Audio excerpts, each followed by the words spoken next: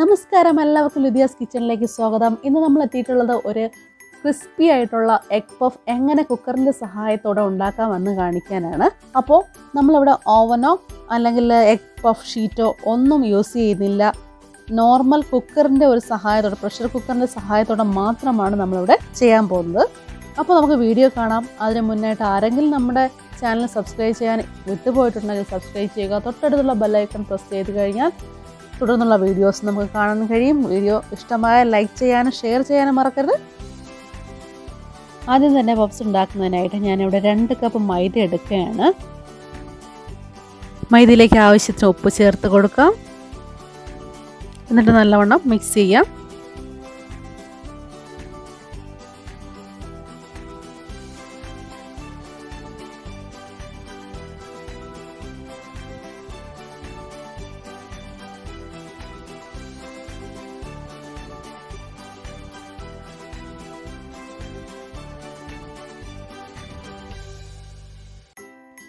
ഇനി അതിലേക്ക് കാൽ ടീസ്പൂൺ സോഡാപ്പൊടി ബേക്കിംഗ് സോഡ ചേർത്ത് കൊടുക്കാം.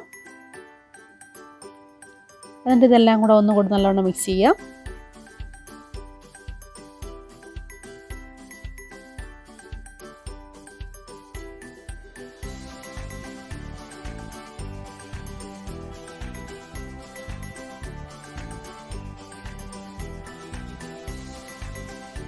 ഇനി ഇതിലേക്ക് ആവശ്യത്തിന് വെള്ളം ചേർത്ത് നന്നായി കുഴച്ചെടുക്കാം. നമ്മൾ ചപ്പാത്തിക്ക് കുഴയ്ക്കുന്നതിനേക്കാളും അല്പം കൂടെ ലൂസായിട്ട് വേണം. കുറച്ചുകൂടെ ലൂസായിട്ട് വേണം ഇത് മിക്സ് ചെയ്തെടുക്കാൻ. മാവ് മിക്സ് ചെയ്തെടുക്കുമ്പോൾ ആവശ്യമെങ്കിൽ ഇടയ്ക്ക് കുറച്ച് മൈദ സ്പ്രെഡ് ചെയ്ത് കൊടുക്കാം.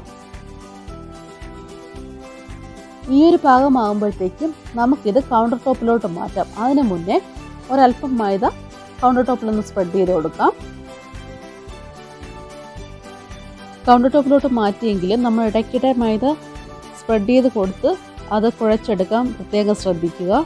അല്ലെങ്കിൽ അത് ഒട്ടിപ്പിടിക്കാൻ ചാൻസ് ഉണ്ട്. ഈ ഒട്ടിപ്പിടിക്കുന്ന ഒഴിവാക്കാൻ വേണ്ടിയിട്ടാണ് നമ്മളിങ്ങനെ കറക്റ്റ് പാകത്തിന് ലഭിക്കാൻ വേണ്ടിയിട്ടാണ് ഇങ്ങനെ ചെയ്യുന്നത്. ഇടയ്ക്കിടെ ആവശ്യത്തിന് മൈദ സ്പ്രെഡ് ചെയ്ത് കൊടുക്കുക. ഇനി നമുക്ക് മാവ് ഇതുപോലെ നീളത്തിന് ഈ ഒരു ഷേപ്പിൽ ഉരുട്ടിയെടുക്കാം. അടുത്തതായിട്ട് ഇതിനെ നമുക്ക് ചെറിയ ചെറിയ പീസുകളായി മുറിച്ചെടുക്കാം.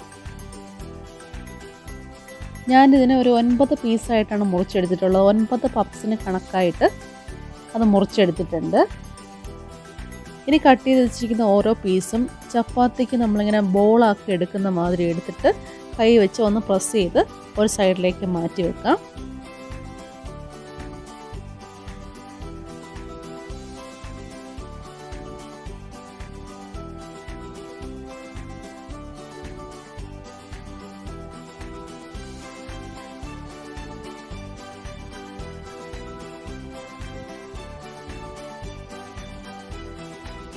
അടുത്തതായി നമുക്ക് ഡ്രൈ ആയിട്ടുള്ള ഒരു പാത്രത്തിലോട്ട് മൂന്ന് ടേബിൾ സ്പൂൺ സൺഫ്ലവർ ഓയിൽ ഒഴിച്ചു കൊടുക്കാം.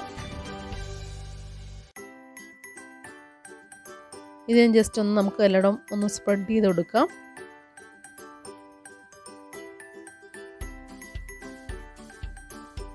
ഇനി ഇതിലേക്ക് മാറ്റി വെച്ചിട്ടുള്ള ഒൻപത് പീസും ഇതിനകത്തോട്ട് ഈ പ്ലേറ്റിനകത്തോട്ട് വെക്കാം. അതിനുശേഷം ഇത് കുറച്ച് സമയത്തേക്ക് റെസ്റ്റ് ചെയ്യാൻ വെക്കാം. ഇപ്പോൾ ഇതൊരു പത്ത് മിനിറ്റ് ആയിട്ടുണ്ട് ഇനി നമുക്കിതിനെ ഒന്ന് മറിച്ച് വെക്കാം. ഓരോ പീസായിട്ട് നമുക്കതിനെ മറിച്ച് വെക്കാം. എഗ് പഫിനുള്ള മസാലയ്ക്കായി ഞാനിവിടെ മൂന്ന് സവോള സ്ലൈസ് ചെയ്ത് എടുത്തിട്ടുണ്ട് മസാല റെഡിയാക്കാനായിട്ട് ചൂടായ പാനിലോട്ട് മൂന്ന് ടേബിൾ സ്പൂൺ സൺഫ്ലവർ ഓയിൽ ചേർത്ത് കൊടുക്കാം.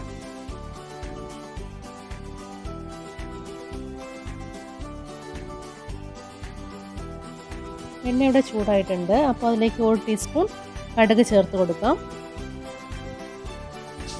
ഇനി ഇതിലേക്ക് കുറച്ച് കറിവേപ്പിലയും ഒരു ടേബിൾ സ്പൂൺ വെളുത്തുള്ളി ഇഞ്ചി പേസ്റ്റ് ഇഞ്ചി വെളുത്തുള്ളി പേസ്റ്റ് ഒരു ടീസ്പൂൺ ചേർത്ത് കൊടുത്ത് നല്ലവണ്ണം ഒന്ന് ഇളക്കി കൊടുക്കാം. ഇത് ഗോൾഡൻ ബ്രൗൺ കളർ ആകുന്നത് വരെ ഇളക്കി കൊടുക്കുക. അതിനുശേഷം നമുക്ക് സ്ലൈസ് ചെയ്ത് വെച്ചിരിക്കുന്ന ഈ സവോള ഒന്ന് ചേർത്ത് കൊടുക്കാം. ഇനി ഇതിലേക്ക് ആവശ്യത്തിന് ഉപ്പ് കൂടെ ചേർത്ത് നല്ലവണ്ണം ഒന്ന് ഇളക്കി കൊടുക്കാം. ഇതിലോട്ട് ഞാൻ അരിഞ്ഞു വെച്ചേക്കുന്ന രണ്ട് പച്ചമുളക് കൂടെ ചേർത്ത് കൊടുക്കുവാണ്.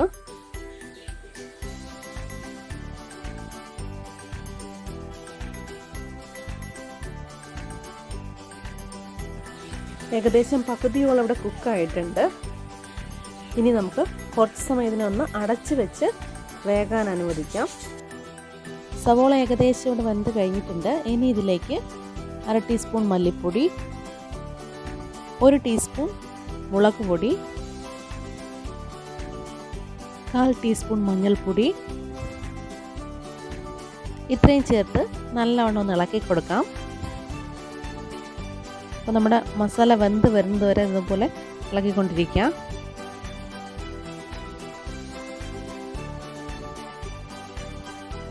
മസാല ഏകദേശം ഡ്രൈ ആയി വരുമ്പോഴത്തേനും ഒരു തക്കാളി അരിഞ്ഞ് ചേർത്ത് കൊടുക്കാം.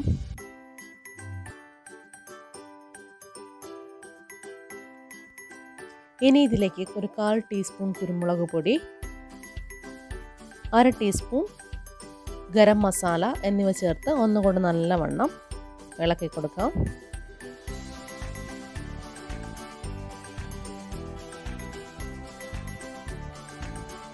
എഗ് പഫിനുള്ള മസാല നല്ലോണം വെന്ത് കഴിഞ്ഞിട്ടുണ്ട് റെഡി ആയിട്ടുണ്ട്. അപ്പോൾ നമുക്ക് ഫ്ലെയിം ഓഫ് ചെയ്ത് വെക്കാം. എഗ് പഫിനുള്ള ഷീറ്റ് റെഡിയാക്കാനായിട്ട് കൗണ്ടർ ടോപ്പിലോട്ട് ഇതുപോലെ കുറച്ച് ഓയിൽ സ്പ്രെഡ് ചെയ്ത് കൊടുക്കാം ഇനി എടുത്തു വെച്ചിട്ടുള്ള ഓരോ പീസും ഇതുപോലെ കൗണ്ടർ ടോപ്പിലോട്ട് വെച്ച് ഓയിൽ സ്പ്രെഡ് ചെയ്ത് ആ ഭാഗത്ത് വെച്ച് കൈ കൊണ്ട് തന്നെ ചപ്പാത്തി കോലോ മറ്റൊന്നും തന്നെ ആവശ്യമില്ല. കൈ കൊണ്ട് തന്നെ ജസ്റ്റ് ഇങ്ങനെ നമുക്ക് മാക്സിമം എത്രത്തോളം പരത്തി കൊടുക്കാൻ കഴിയും അത്രത്തോളം പരത്തുക. മാക്സിമം കട്ടി കുറഞ്ഞ ഒരു ലെവലിലോട്ട് കൈ കൊണ്ട് തന്നെ ഇങ്ങനെ പരത്തി കൊടുക്കുക ശേഷം ഇതുപോലെ നാലായിട്ട് മടക്കുക. ലെയേഴ്സ് എല്ലാം നമുക്ക് കിട്ടുന്നതിന് വേണ്ടിയിട്ടാണ് ഇങ്ങനെ ചെയ്യുന്നത്. ഇങ്ങനെ മടക്കി കൊടുക്കുന്നത്. അപ്പോൾ വീണ്ടും ഒന്ന് പരത്തി കൊടുക്കാം മാക്സിമം അതിനുശേഷം വീണ്ടും നേരത്തെ ചെയ്ത സെയിം പ്രൊസീജിയർ നാലായിട്ട് മടക്കി കൊടുക്കാം. ഇനി അവസാനമായിട്ട് ജസ്റ്റ് ഒന്ന് കുറച്ചുകൂടെ ഒന്ന് പരത്തി കൊടുക്കാം. മസാല അകത്ത് വെക്കാൻ പാകത്തിന് കുറച്ചുകൂടെ ഈ ഷീറ്റ് ഒന്ന് പരത്തി കൊടുക്കാം. ഒരല്പം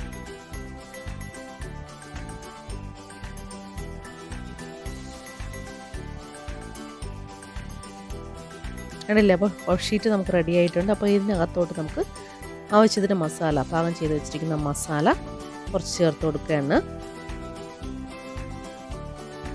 ഇനി നമുക്ക് ആവശ്യമുള്ള മുട്ട നേരത്തെ വേവിച്ച് പകുതിയാക്കി അരിഞ്ഞു വെച്ചിട്ടുണ്ട്. അതിന്ന് ഒരു പീസ് എടുത്ത് ഇതിനകത്ത് വെച്ച ശേഷം അതിന്റെ നാല് കോണറും നാല് എൻഡും എന്ത് ചെയ്യാം? ഇതുപോലെ ഒന്ന് മടക്കി കൊടുക്കാം. ഉള്ളിലോട്ട് മടക്കി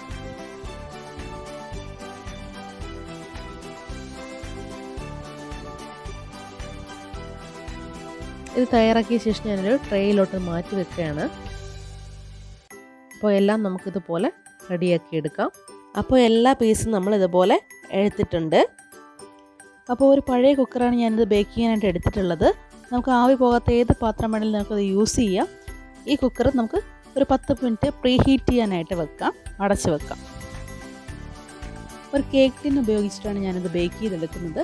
അപ്പോൾ നമ്മുടെ ഹോം മെയ്ഡ് ബട്ടർ പേപ്പർ എങ്ങനെ ഈസി ആയിട്ട് ഉണ്ടാക്കാമെന്നുള്ള ഒരു വീഡിയോ ഞാൻ തൊട്ട് മുന്നേ ചെയ്തിട്ടുണ്ടായിരുന്നു. അതിന്റെ ലിങ്ക് നമ്മുടെ ഡിസ്ക്രിപ്ഷൻ ബോക്സിൽ കൊടുക്കുന്നുണ്ട്. എല്ലാവർക്കും പോയി കാണാവുന്നതാണ്. അപ്പോൾ ഈസി ആയിട്ട് എങ്ങനെ ഹോം മെയ്ഡ് ബട്ടർ പേപ്പർ ഉണ്ടാക്കാം എന്നുള്ളതിന്റെ വീഡിയോ നമ്മുടെ ഡിസ്ക്രിപ്ഷൻ ബോക്സിൽ ലിങ്ക് കൊടുത്തിട്ടുണ്ട്. എല്ലാവരും പോയി കാണുക. അപ്പോൾ ആ made home made butter paper ഞാൻ ഇതിനകത്തോട്ട് വെക്കുവാണ്. ഇനി നമ്മുടെ പപ്സ് ഓരോന്നായിട്ട് ഇതിനകത്തോട്ട് വെക്കാം.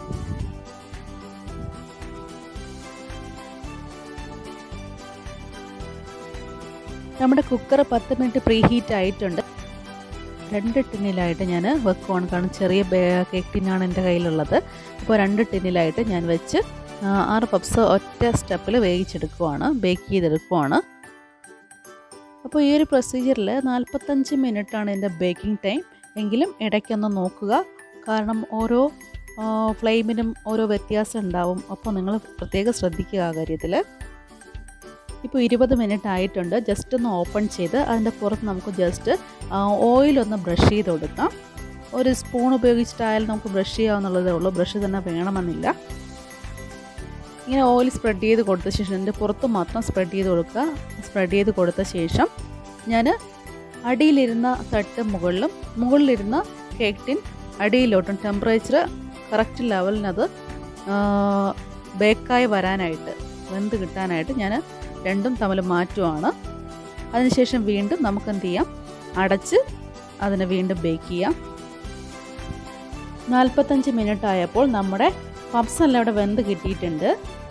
നമ്മുടെ പപ്സ് ഓവനിൽ വെച്ച് ബേക്ക് ചെയ്തതുപോലെ അതേ ഭംഗിയിൽ കിട്ടുന്നതിനായിട്ട് നമുക്ക് കുറച്ച് ഓയിൽ ചൂടാക്കി എടുക്കാം പാനിൽ. എണ്ണ ചൂടായി കഴിയുമ്പോൾ അതിനകത്തോട്ട് ഓരോ പപ്സായിട്ട് വെച്ച ശേഷം നമുക്ക് ജസ്റ്റ് ഒന്ന് തിരിച്ച് മറിച്ചിട്ട് അതിന്റെ കളറ് ഒന്ന് ഭംഗിയാക്കി എടുക്കാം. ഹായ് ഫ്രണ്ട്സ് ഞാൻ ഇന്ന് മുട്ട പഫ്സ് ഉണ്ടാക്കിയിരിക്കുകയാണ്. അതെങ്ങനെ ഉണ്ടെന്ന് നമുക്ക് നോക്കാം.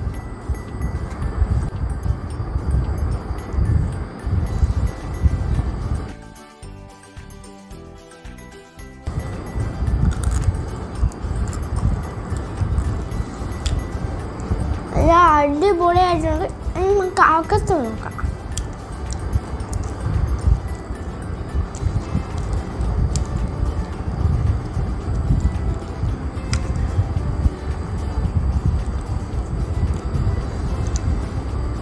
അകത്തുള്ള മുട്ട സൂപ്പറായിട്ടുണ്ട്. എന്തായാലും അടിപൊളിയായിട്ടുണ്ട്.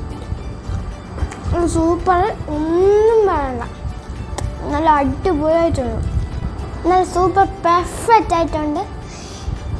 നിങ്ങൾ വീട്ടിൽ ട്രൈ ചെയ്ത് നോക്കുക. പുതിയൊരു ഡിഷുമായി നമുക്ക് വീണ്ടും കാണാം.